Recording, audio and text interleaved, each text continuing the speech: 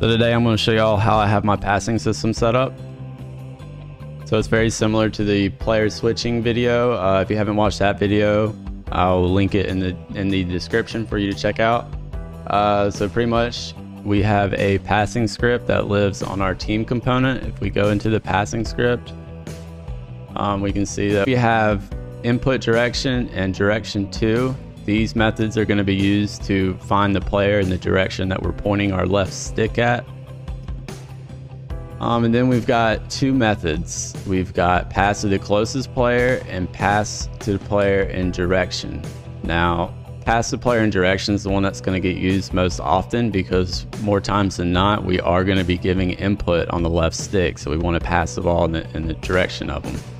Uh, before we get into those methods, we'll see we are calling them up here in the update method. If we press the pass button and we have possession of the ball and the input axis of horizontal and vertical are equal to zero, so we're not touching the left stick at all when we press the pass button, then we're going to pass to the closest player.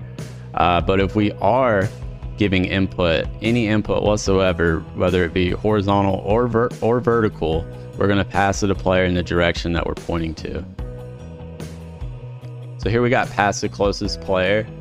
Uh, it's going to use a LINQ statement to sort through all of the team players, um, all except for the current player, and order those by their distance to the current player. So then we're going to find the direction of this player that's closest to us, his position, minus the ball's position, and normalize that. Uh, so now we've got the direction we want to pass the ball to, so now we can remove all constraints on the ball, remove its parent, unparent it, and then we add the force to the direction times the pass force, force mode, impulse.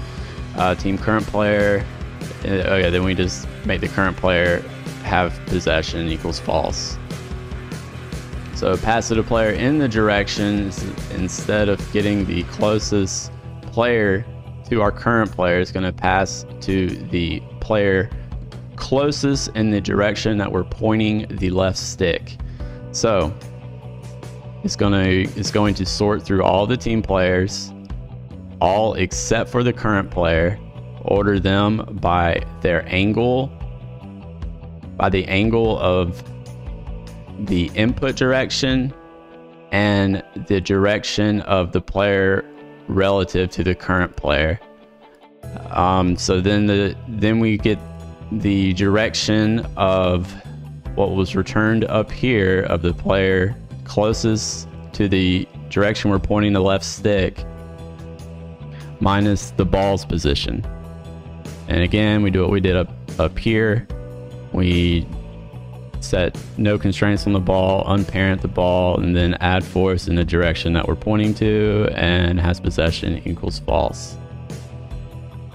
It's really hard to wrap your mind around it, but if you really take the time to dig into it, uh, it does it does make sense after after a while. It may take a little bit if LINQ statements are new to you but that is it. That that is what gets the passing system working. If you made it to the end, thank you so much for watching. I really do appreciate it. If you could give me a like and a follow, and that would really help me out with YouTube's algorithm.